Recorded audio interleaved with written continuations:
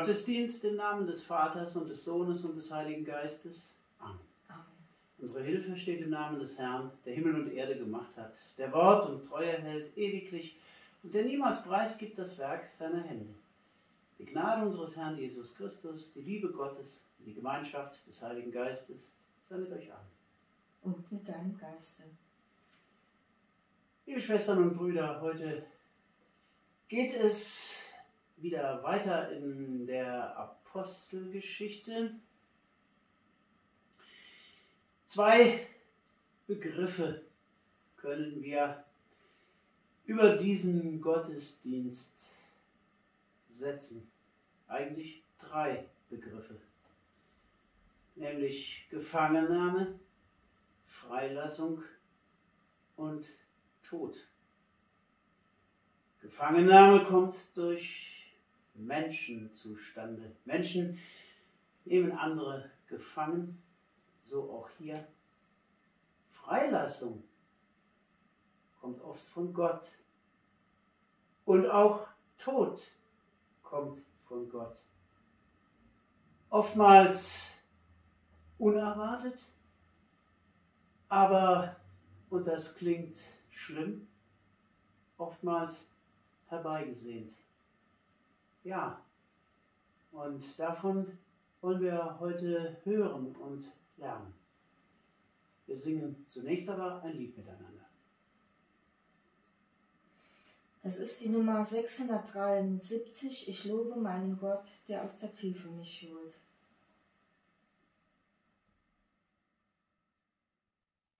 Musik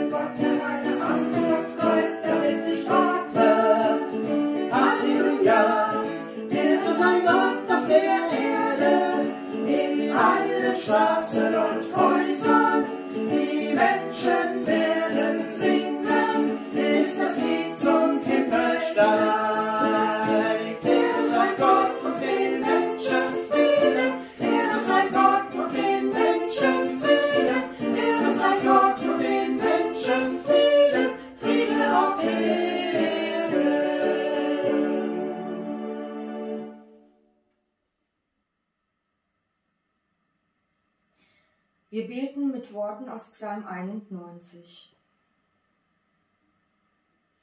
Wer unter dem Schutz des höchsten Gottes lebt und bei ihm, der alle Macht hat, bleiben darf, der sagt zum Herrn, du bist meine Zuflucht, bei dir bin ich sicher wie in einer Burg. Mein Gott, ich vertraue dir, du kannst dich darauf verlassen. Der Herr wird dich retten vor den, vor den Fallen, die man dir stellt, vor Verrat und Verleumdung. Er breitet seine Flügel über dich, ganz nah bei ihm bist du geborgen. Wie Schild und Schutzwall deckt dich seine Treue. Du musst keine Angst mehr haben vor Gefahren und Schrecken bei Nacht oder Überfällen bei Tag vor der Seuche, die im Dunkeln zuschlägt. Oder dem Fieber, das am Mittag wütet. Auch wenn tausend neben dir sterben und zehntausend rings um dich zugrunde gehen, dich selber wird es nicht treffen.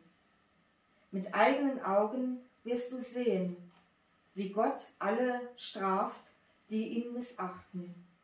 Du sagst, der Herr ist meine Zuflucht.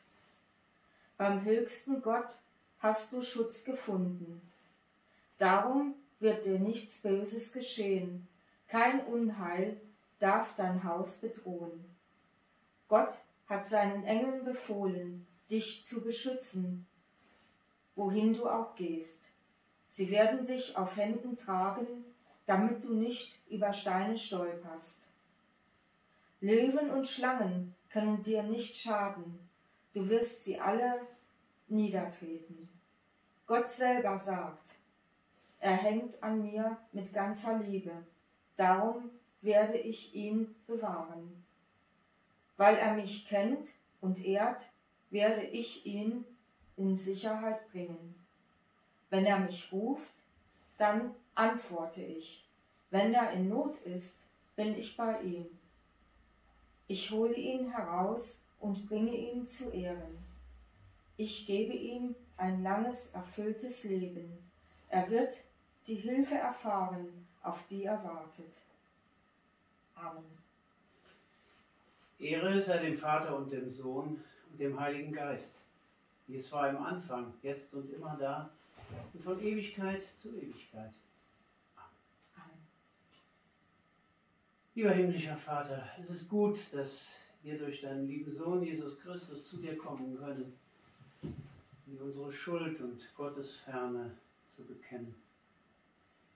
Herr, wir entfernen uns jeden Tag von dir. Oftmals merken wir das gar nicht. Wir fragen uns, fangen wir den Tag mit dir an und geben wir ihn abends dankbar an dich zurück? Oftmals fragen wir, wo bist du? Und spüren gar nicht, dass wir selbst daran schuld sind, dass wir dich nicht sehen, geschweige denn hören. Herr, du hast deinen Engeln befohlen, dass sie uns auf Händen tragen, dass wir uns nicht an Steine stoßen, noch in dunkler Nacht nicht wissen, wo es hingeht. Herr, wir bitten dich, dass du uns deine Engel sendest, dass wir dein Licht wiederfinden und dass wir uns in deinen Armen geborgen wissen können und dass wir wieder auf den rechten Pfad des Lebens kommen. Kyrie eleison, Herr, erbarme dich.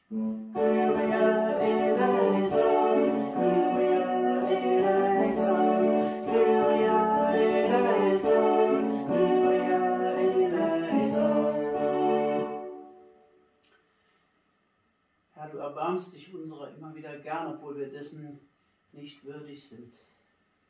Durch deinen Sohn Jesus Christus haben wir Anteil an der Vergebung der Schuld und am ewigen Leben. Und dafür wollen wir dir die Ehre geben.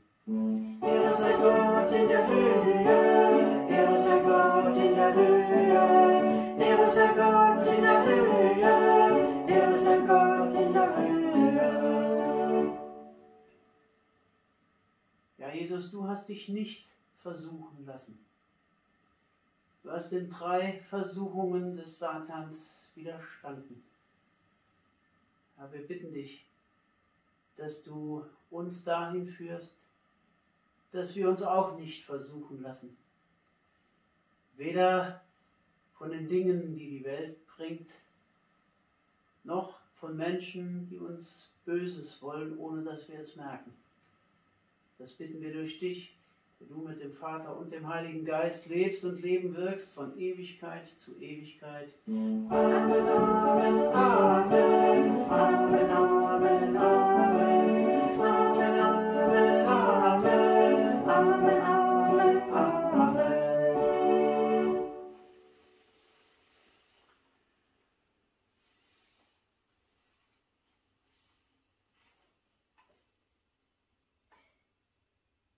Wir lesen weiter in der Apostelgeschichte, Kapitel 12, die Verse 1 bis 11.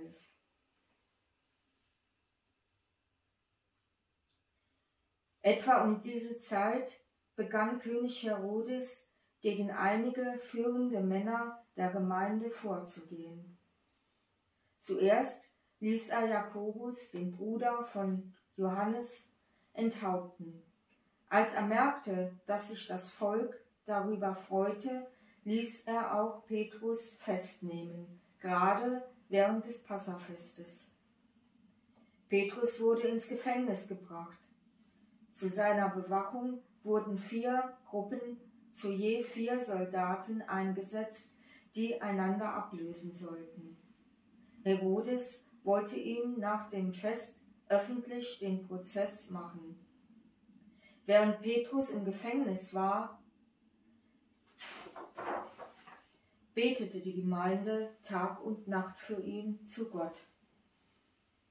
In der Nacht, bevor Herodes ihn vor Gericht stellen wollte, schlief Petrus zwischen zwei Wachsoldaten. Er, er war mit zwei Ketten an die Wand gefesselt. Vor der Tür der Zelle waren zwei weitere Posten aufgestellt.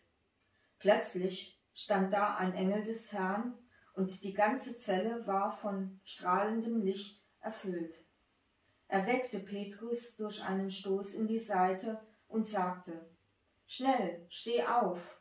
Im gleichen Augenblick fielen Pet Petrus die Ketten von den Händen. Der Engel drängte, Leg den Gürtel um und zieh die Sandalen an. Petrus tat es und der Engel befahl, Nimm den Mantel und komm mit. Petrus folgte ihm nach draußen.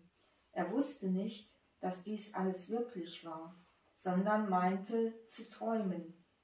Sie kamen ungehindert am ersten Wachtposten vorbei, ebenso am zweiten und standen schließlich vor dem eisernen Tor, das in die Stadt führte. Das Tor sprang von selbst auf und sie traten hinaus. Sie eilten durch eine Gasse, dann war der Engel plötzlich verschwunden. Als Petrus zu sich kam, sagte er, es ist also wirklich wahr. Der Herr hat mir einen Engel ge geschickt, um mich vor Herodes zu retten und vor dem zu bewahren, was die Juden sich erhofft haben. Halleluja! Denn er hat seinen Engeln befohlen, dass sie dich behüten auf allen deinen Wegen, dass sie dich auf den Händen tragen und du deinen Fuß nicht an einen Stein stoßest. Halleluja! Halleluja, Halleluja, Halleluja, Halleluja, Halleluja, Halleluja, Halleluja, Halleluja.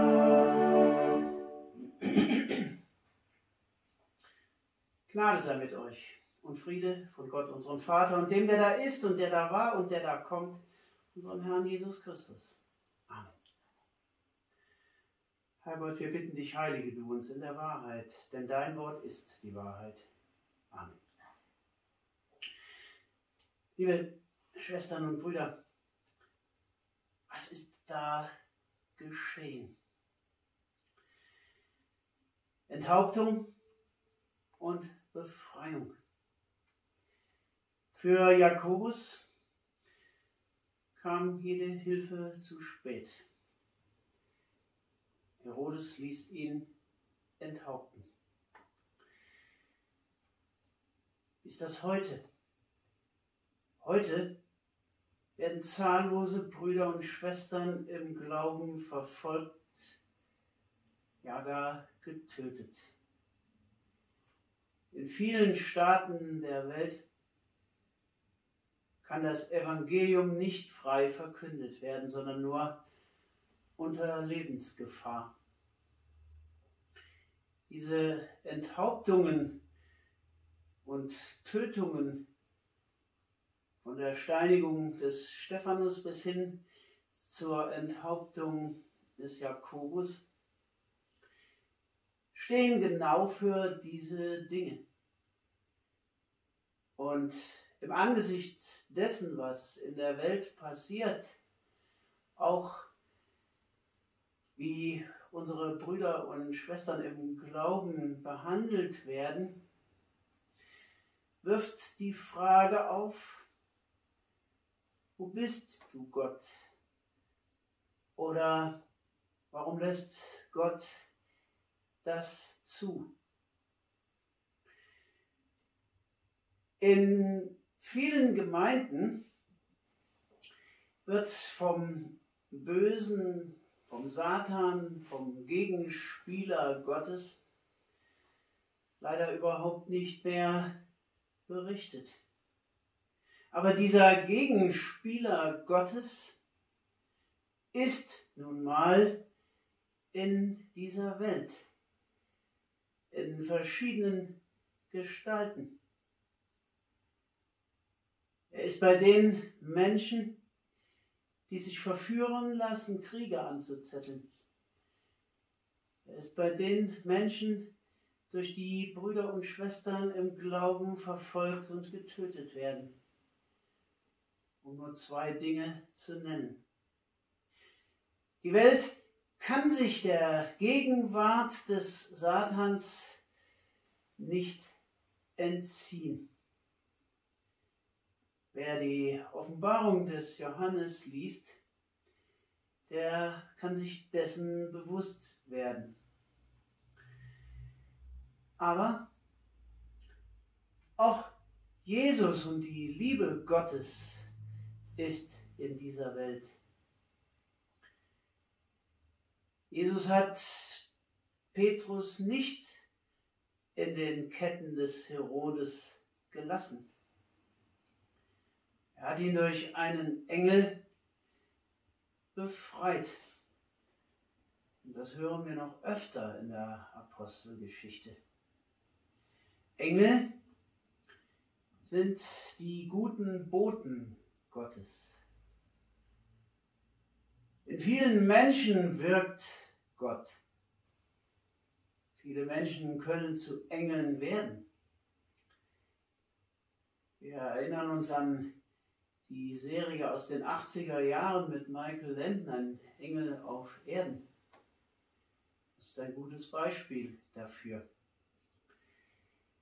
Engel behüten uns Menschen. Viele Menschen glauben, dass sie einen Schutzengel haben und beten auch darum. Und das ist gut so. Engel können in vielen Gestalten auftreten. Aber zu Zeiten der Apostel waren sie in wahrhaftigen Lichtgestalten tätig, die alles Böse um sich herum lahmlegten und dafür sorgten, dass die Menschen, die Jesus eingesetzt hatte, um Wunder zu tun und sein Wort in alle Welt zu verkündigen, dass diese Engel da waren und diese Menschen befreiten. Und das ist hier der Fall. Und das kann auch heute noch geschehen dass Engel Menschen aus Ketten befreien, aus Ängsten, ja, aus psychischen Problemen. Auch können Engel dafür sorgen, dass Medizinern Dinge gelingen, die man oft für unmöglich hält. Wenn Gott nicht wollte, dass es Engel gibt und wenn er sie nicht selbst auf diese Welt schickt, gestern und heute, dann wäre dies nicht so. Wir singen das nächste Lied. Das ist die Nummer 591. Gottes Wort ist wie Licht in der Nacht.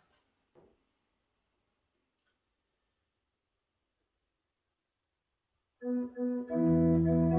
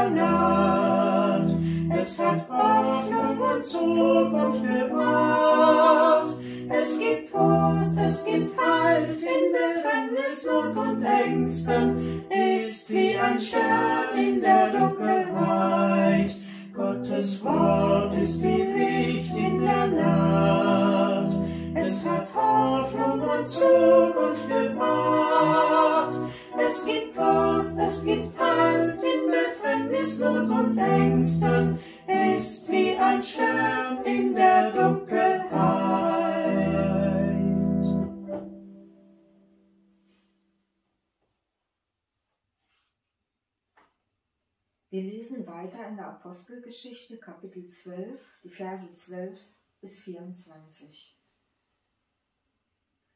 Als ihm das klar geworden war, ging er zu dem Haus, in dem Maria, die Mutter des Johannes, mit dem Beinamen Markus wohnte. Dort hatten sich viele Christen zum gemeinsamen Gebet versammelt. Petrus klopfte an das Hoftor und die Dienerin Rode kam, um zu öffnen. Als sie aber Petrus an der, an der Stimme erkannte, vergaß sie vor Freude, das Tor aufzumachen, rannte ins Haus und rief, Petrus steht draußen. Du bist nicht ganz bei Verstand, sagten die im Haus, und als Rode darauf bestand, meinten sie, dann ist es sein Schutzengel. Petrus aber klopfte und klopfte, bis sie schließlich aufmachten. Als sie ihn erkannten, gerieten sie ganz außer sich. Er bat mit einer Handbewegung um Ruhe und erklärte ihnen, wie ihn der Herr aus dem Gefängnis befreit hatte. Erzählt das Jakobus und den anderen Brüdern, sagte er. Dann verließ er Jerusalem. Als es Tag wurde, gab es bei den Wachen eine große Aufregung, weil Petrus verschwunden war. Herodes ließ überall nach ihm suchen, aber vergeblich. Da ließ er die Wachsoldaten verhören und hinrichten. Herodes verließ nun Jerusalem, um einige Zeit in Caesarea zu bleiben. Die Bewohner von Tyrus und Sidon hatten seinen Zorn auf sich gezogen. De deshalb schickten sie eine Abordnung zu ihm, um ihn wieder zu versöhnen. Sie waren nämlich für ihre Lebensmittelversorgung auf und, und Lieferungen aus seinem Gebiet angewiesen. Sie gewannen den Palastverwalter Blastus dafür, dass er beim König ein Wort für sie einlegte, und Herodes bestimmte einen Tag, an dem er die Sache entscheiden wollte. Er legte seine königlichen Gewänder an, nahm auf der Tribüne Platz und hielt vor ihnen eine große Anrede. Das Volk aber rief, so redet ein Gott, nicht ein Mensch. Im selben Augenblick schlug ihn der Engel des Herrn, weil er sich als einen Gott feiern ließ. Anstatt dem wahren Gott die Ehre zu geben, der König wurde von Würmern zerfressen und starb aber immer mehr Menschen nahmen die Botschaft Gottes an. Ihr Lieben, ist das nicht interessant? Petrus klopft an das Tor und Unglauben stellt sich ein. Das kann doch nicht sein, dass Petrus wieder frei ist. Dasselbe kennen wir, als nach der Auferstehung Jesu die Frauen den Jüngern erzählten, dass Jesus lebte. Das kann nicht sein. Und so ist es bei uns Menschen doch auch. Mal ehrlich, wie sehr würden wir uns alle wünschen, dass Jesus leibhaftig in unsere Mitte tritt, bei den Mahlzeiten fühlbar und greifbar bei uns ist. Wir sind aber auf den Glauben angewiesen und können durch den Glauben Jesus erfahren, hören und spüren. Viele Menschen, denen man dies erzählt, können dies wiederum nicht glauben, weil wir Menschen einfach Beweise wollen und sehen wollen. Aber Jesus ist mehr. Jesus ist der Sohn Gottes. Er ist auch nach seinem Tod immer wieder Menschen erschienen. Das ist bis heute der Fall. Jesus braucht keine Türöffner. Jesus kann durch geschlossene Türen, das heißt auch durch geschlossene und verschlossene Herzen kommen. Jesus möchte der Freund aller Menschen sein. Er möchte zerbrochene Herzen heilen. Er möchte seelische Wunden heilen.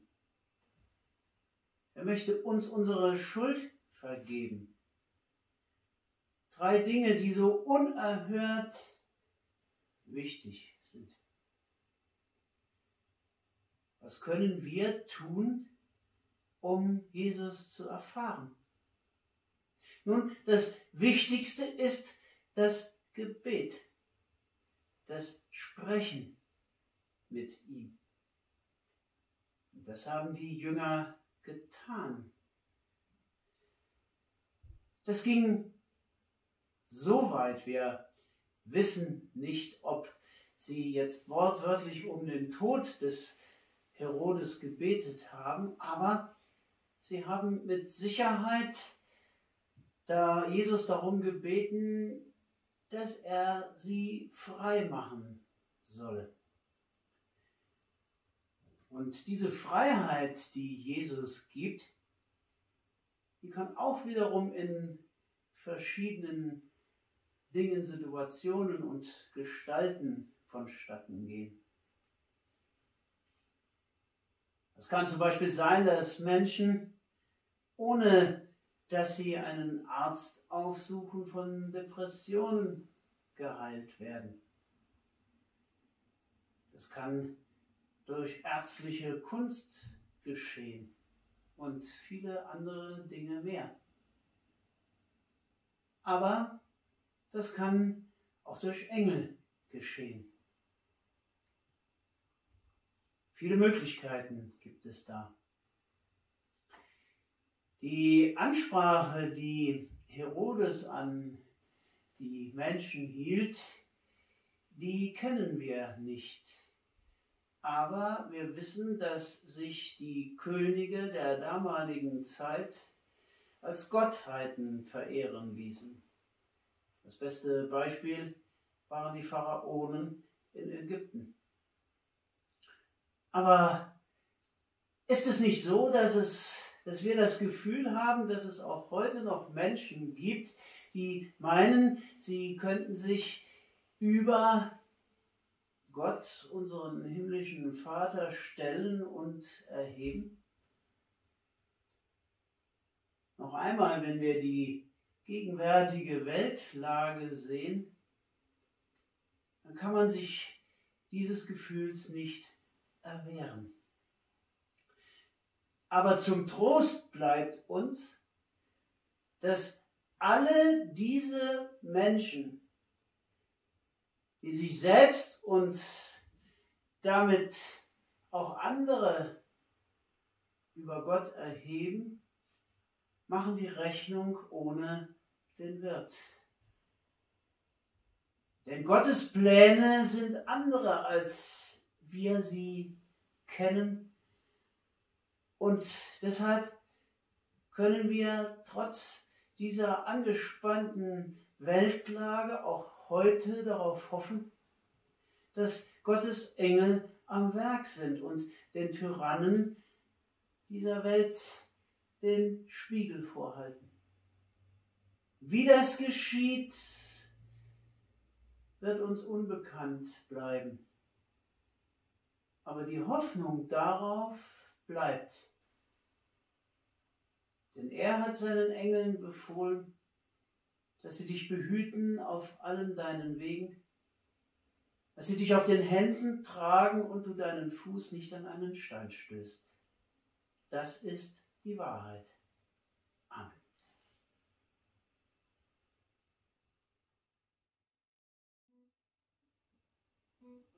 Jesus,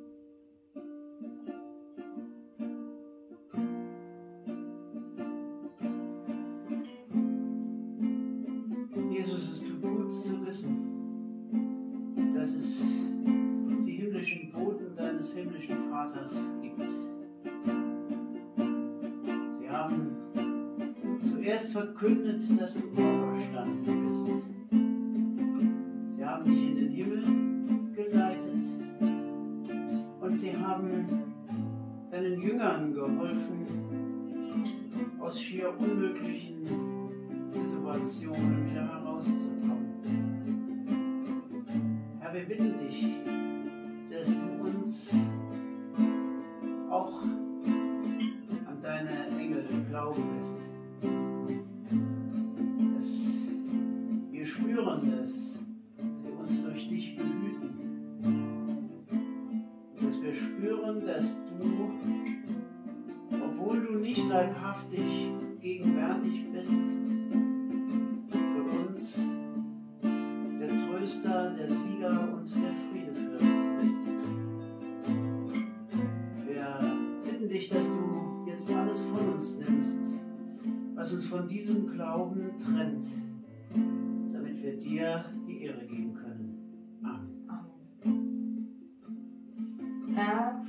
stehen wir gemeinsam.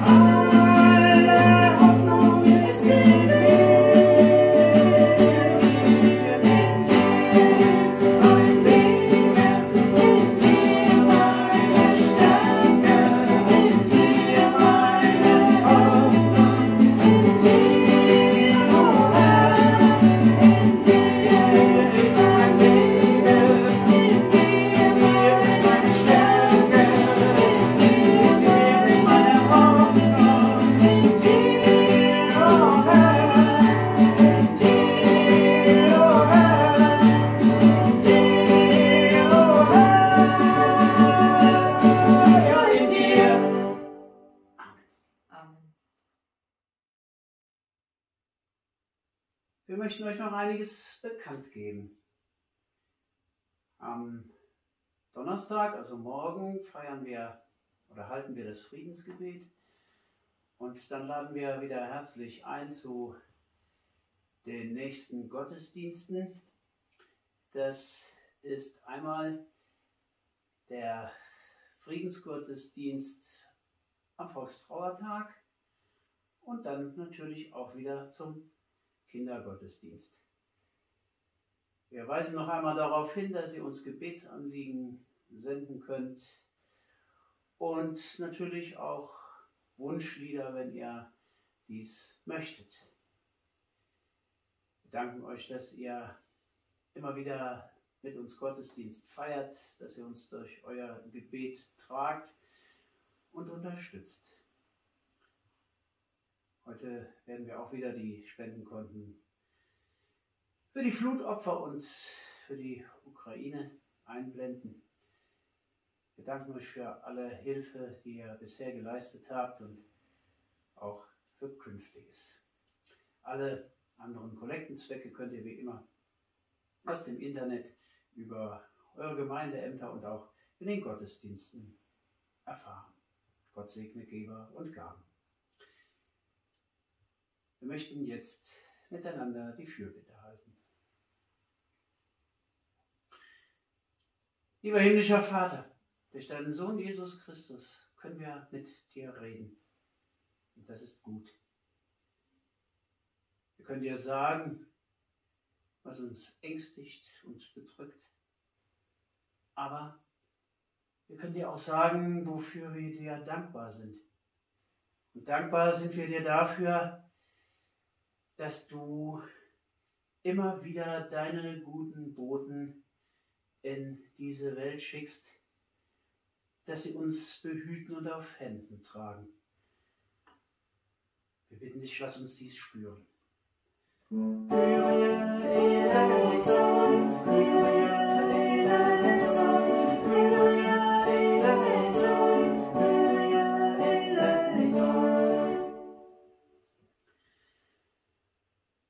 Herr, wir bitten dich, sende du auch deine Boten in die Kriegsgebiete. Lass Engel bei den Menschen sein, die durch Krieg und Gewalt und Terror verfolgt und leiden müssen.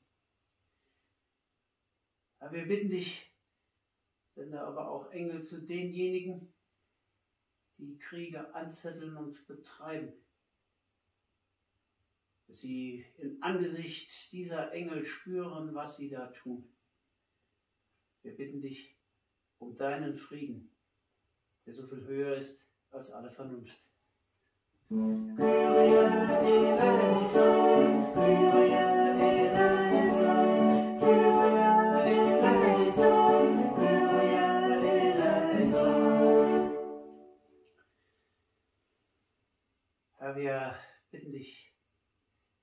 alle verfolgten Brüder und Schwestern im Glauben.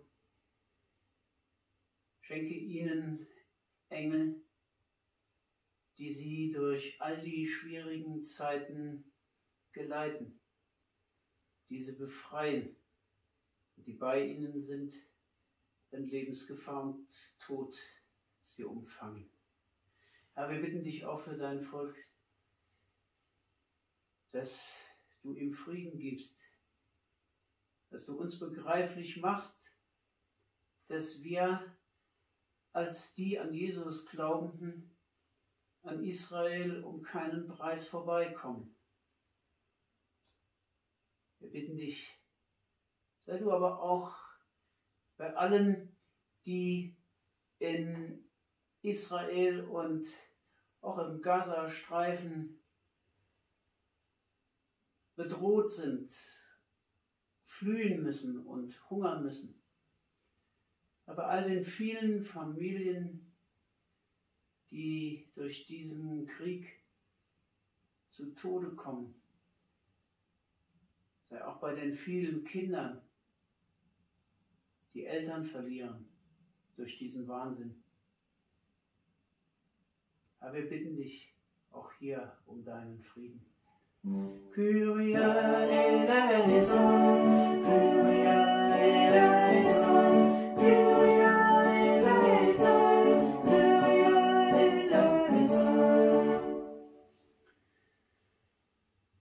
sei du auch in unserem Land, bei unseren Regierenden. Dass sie durch deinen Geist geleitet werden. Herr, wir bitten dich, wäre du aller Gewalt, sei du da, wenn es zu Ausschreitungen kommt. Und heile du die Risse, die quer durch unsere Gesellschaft gehen. Du allein kennst die wahren Gründe dafür. Und du allein kannst deine heilende Hand ausstrecken. Wir bitten dich, dass du unserem Land wieder neuen Glauben an dich gibst, damit wir durch all die Tiefs, die uns umgeben, mit deiner Hilfe hindurchkommen. Herr,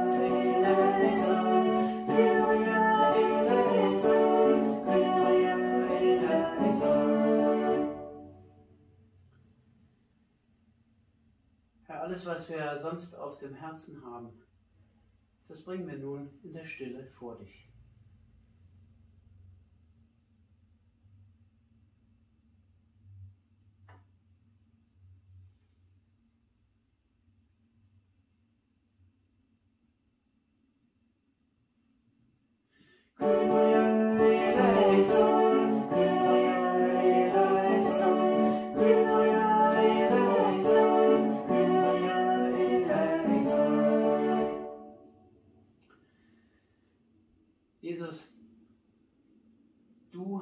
Die Menschen wissen lassen, was Liebe ist.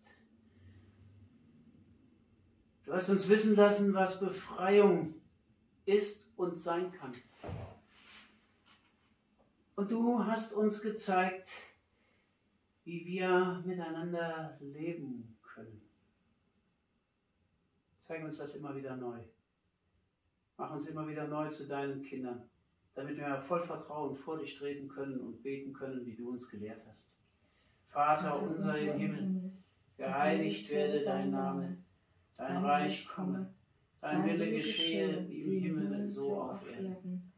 Unser tägliches Brot gib uns heute und vergib uns unsere Schuld, wie auch wir vergeben unseren Schuldigern. Und führe uns nicht in Versuchung, sondern erlöse uns von dem Bösen. Denn dein ist das Reich und die Kraft und die Herrlichkeit in Ewigkeit.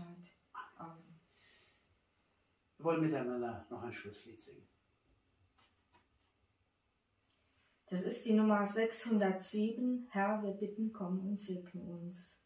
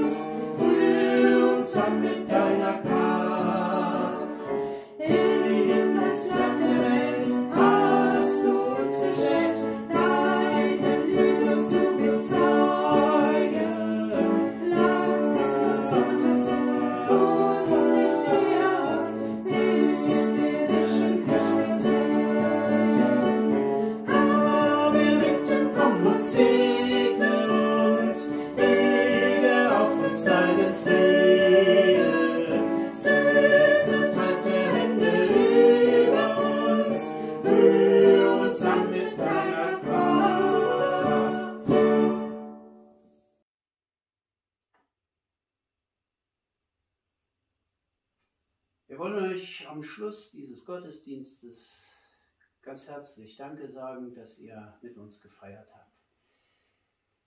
Wir bitten euch, seid im Gebet auch weiterhin bei uns und betet für den Frieden.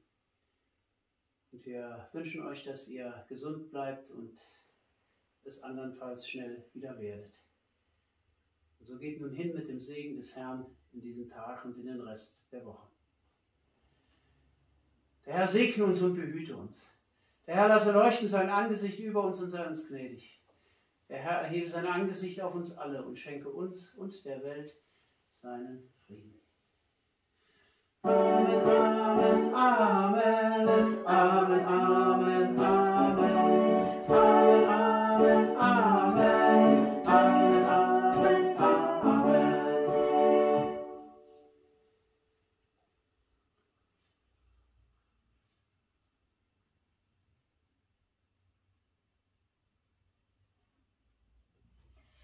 Wir singen zum Schluss das Lied Wer auf Gott vertraut.